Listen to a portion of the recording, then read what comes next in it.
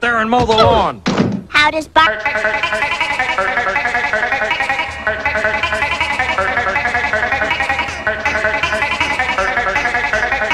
Then get out there and mow the lawn.